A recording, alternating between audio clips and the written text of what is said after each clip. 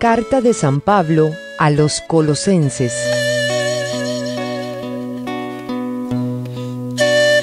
Colosenses capítulo 1 Pablo, apóstol de Jesucristo por la voluntad de Dios, junto con el hermano Timoteo, saluda a los del pueblo santo que están en Colosas, fieles hermanos en Cristo.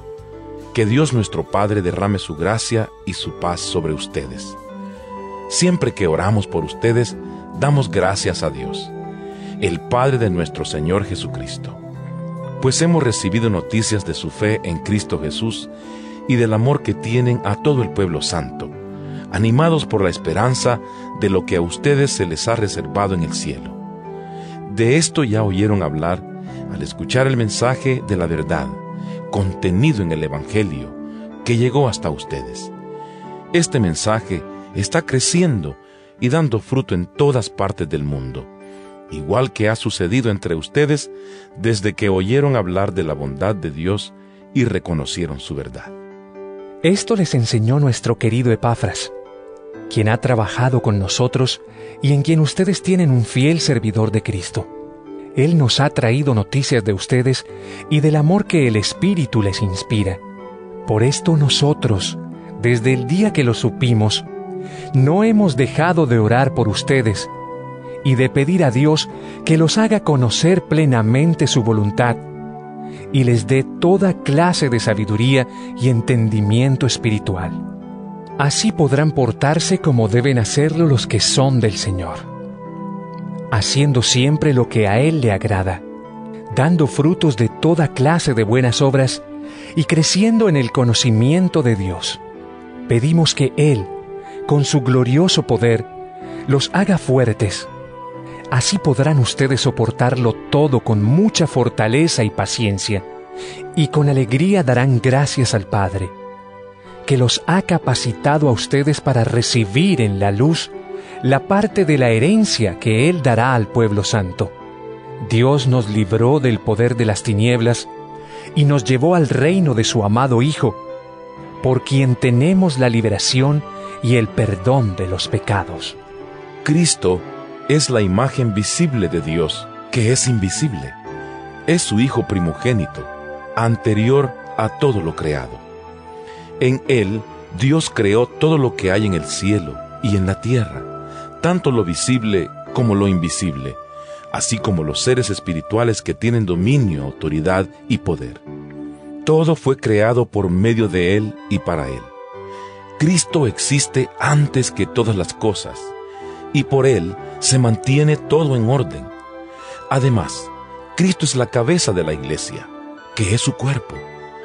Él, que es el principio, fue el primero en resucitar, para tener así el primer puesto en todo, pues en Cristo quiso residir todo el poder divino, y por medio de él Dios reconcilió a todo el universo ordenándolo hacia él, tanto lo que está en la tierra como lo que está en el cielo, haciendo la paz mediante la sangre que Cristo derramó en la cruz.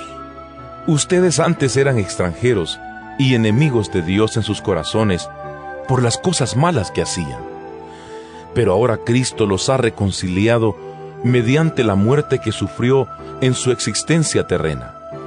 Y lo hizo para tenerlos a ustedes en su presencia, santos, sin mancha y sin culpa.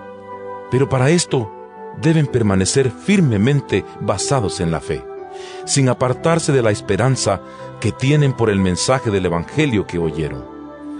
Este es el mensaje que se ha anunciado en todas partes del mundo, y que yo, Pablo, ayudo a predicar.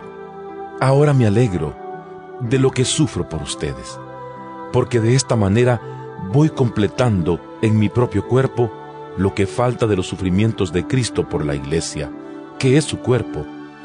Dios ha hecho de mí un servidor de la iglesia, por el encargo que Él me dio para bien de ustedes, de anunciar en todas partes su mensaje, es decir, el designio secreto que desde hace siglos y generaciones Dios tenía escondido, pero que ahora ha manifestado al pueblo santo.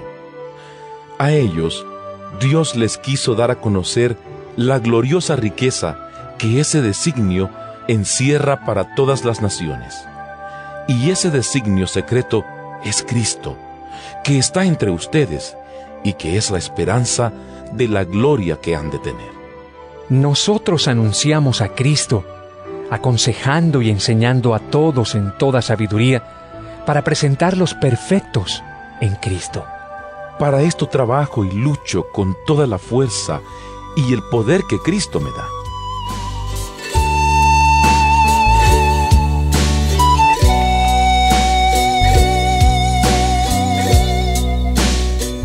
Colosenses capítulo 2 Pues quiero que sepan que estoy luchando duramente por ustedes, por los de la Odisea y por todos los que no me han visto personalmente. Lucho para que ellos reciban ánimo en su corazón, para que permanezcan unidos en amor y enriquecidos con un perfecto entendimiento que les permita comprender el designio secreto de Dios, que es Cristo mismo. Pues en Él están encerradas todas las riquezas de la sabiduría y del conocimiento. Esto se lo digo a ustedes para que nadie los engañe con palabras seductoras, pues aunque no estoy presente entre ustedes en persona, lo estoy en espíritu, y me alegra ver que tienen orden y que se mantienen firmes en su fe en Cristo. Por eso, habiendo recibido a Jesucristo como su Señor, deben comportarse como quienes pertenecen a Cristo, con profundas raíces en Él firmemente basados en Él por la fe, como se les enseñó, y dando siempre gracias a Dios. Tengan cuidado.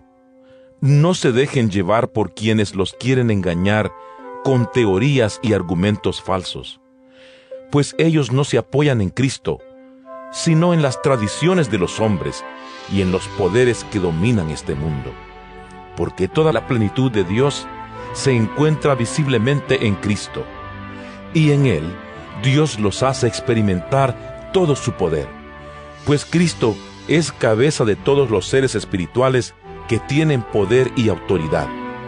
En Él también ustedes han sido circuncidados, no con una circuncisión hecha por los hombres, sino con la circuncisión hecha por Dios al unirlos a Cristo y despojarlos de su naturaleza pecadora al ser bautizados, ustedes fueron sepultados con Cristo y fueron también resucitados con Él, porque creyeron en el poder de Dios que lo resucitó.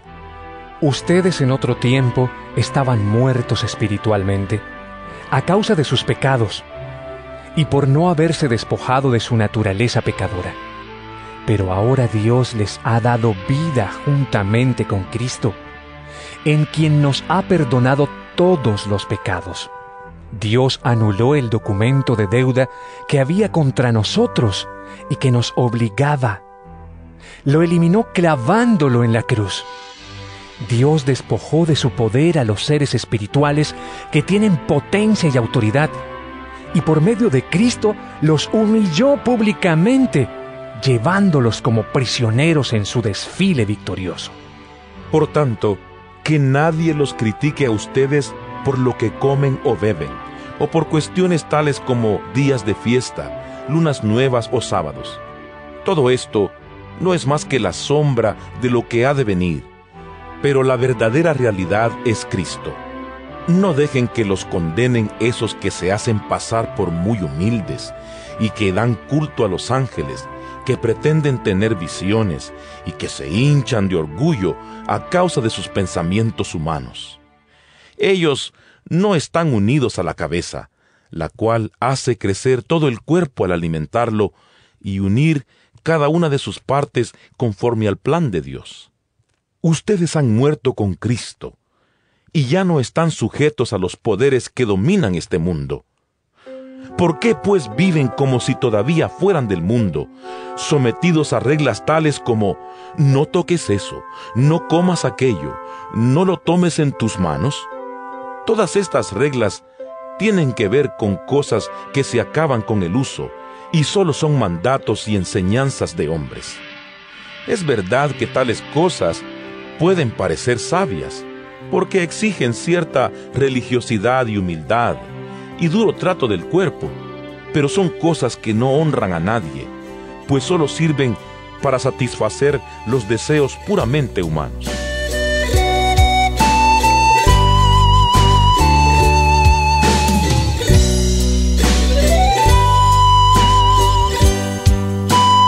Colosenses capítulo 3 Por lo tanto, ya que ustedes han sido resucitados con Cristo, busquen las cosas del cielo, donde Cristo está sentado a la derecha de Dios. Piensen en las cosas del cielo, no en las de la tierra. Pues ustedes murieron y Dios les tiene reservado el vivir con Cristo. Cristo mismo es la vida de ustedes. Cuando Él aparezca, ustedes también aparecerán con Él, llenos de gloria. Hagan pues morir todo lo que hay de terrenal en ustedes. Que nadie cometa inmoralidades sexuales, ni haga cosas impuras, ni siga sus pasiones y malos deseos, ni se deje llevar por la avaricia, que es una forma de idolatría. Por estas cosas viene el terrible castigo de Dios sobre aquellos que no lo obedecen.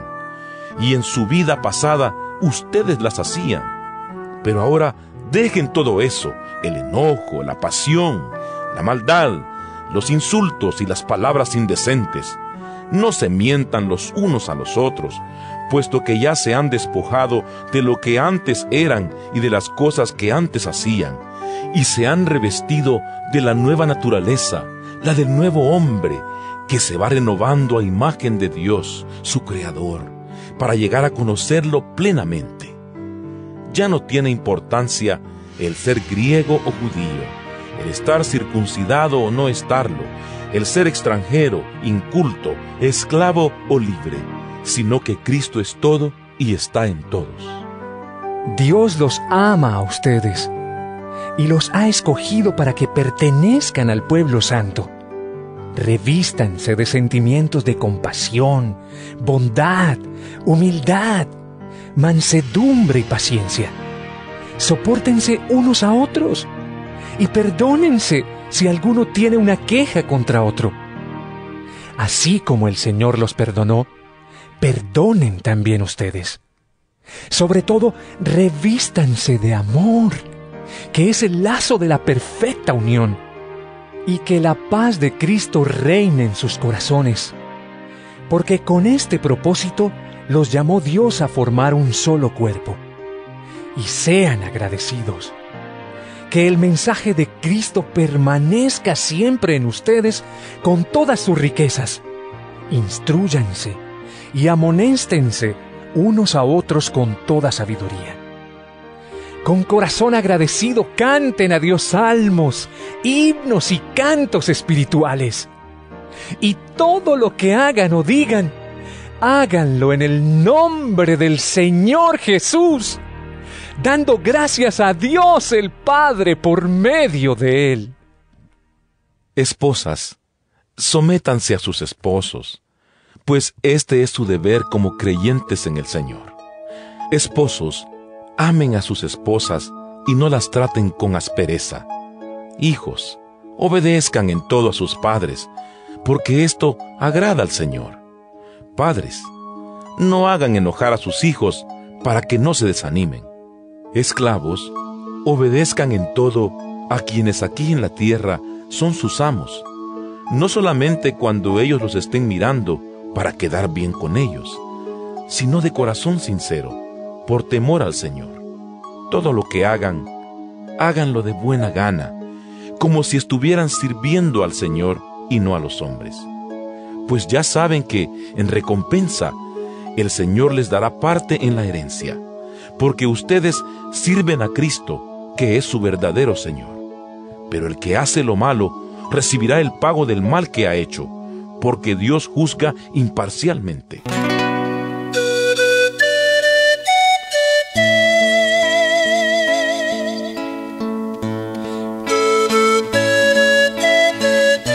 Colosenses capítulo 4 Ustedes, amos, sean justos y razonables con sus esclavos. Acuérdense de que también ustedes tienen un Señor en el cielo. Manténganse constantes en la oración, siempre alerta y dando gracias a Dios. Oren también por nosotros, a fin de que el Señor nos abra las puertas para predicar el mensaje y anunciar el designio secreto de Cristo, pues por eso estoy preso. Oren para que yo le dé a conocer tan claramente cómo debo hacerlo. Compórtense sabiamente con los no creyentes y aprovechen bien el tiempo. Su conversación debe ser siempre agradable y de buen gusto, y deben saber también cómo contestar a cada uno. Nuestro querido hermano Tíquico, que ha sido un fiel ayudante y que ha servido al Señor conmigo, les llevará noticias mías. Por esto lo envío a ustedes, para que les diga cómo estamos y los anime. Con él va también Onésimo, nuestro querido y fiel hermano, que es uno de ustedes. Ellos les contarán todo lo que pasa por aquí. Aristarco, mi compañero de cárcel, les manda saludos, y también Marcos, el primo de Bernabé. Ustedes ya tienen instrucciones respecto a Marcos. Si va a visitarlos, recíbanlo bien. También los saluda Jesús, al que llaman el justo. Estos son los únicos entre los creyentes judíos que han trabajado conmigo por el reino de Dios y han sido un gran consuelo para mí. Les manda saludos Epafras, un siervo de Cristo Jesús. Él es uno de ustedes y siempre está rogando por ustedes en sus oraciones, para que se mantengan perfectamente firmes, entregados del todo a hacer la voluntad de Dios. Yo soy testigo de lo mucho que Epafras se preocupa por ustedes y por los que están en la Odisea y en Hierápolis. Lucas, el médico amado, los saluda. Y también Demas. Saluden a los hermanos que están en la Odisea. Saluden también a Ninfa y a la congregación que se reúne en su casa. Después de haber leído ustedes esta carta, mándenla a la iglesia de la Odisea, para que también allí sea leída. Y ustedes, a su vez, lean la carta que les llegue de allá. Díganle esto a Arquipo. Procura cumplir bien el servicio que te han encomendado en nombre del Señor. Yo, Pablo, les escribo este saludo de mi puño y letra. Recuerden que estoy preso. Que Dios derrame su gracia sobre ustedes.